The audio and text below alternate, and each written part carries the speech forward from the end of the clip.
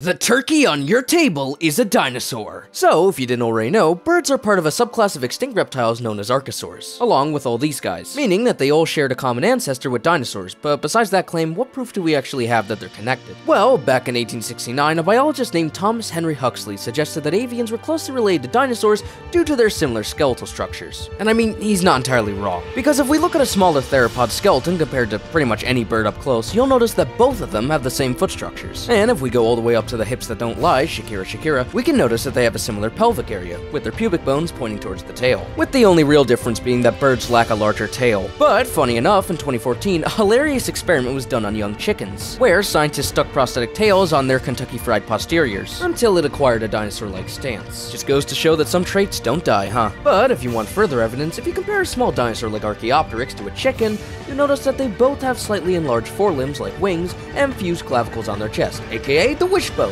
which are only found on avians. So next time you're at Thanksgiving dinner, interrupt political talk by shouting,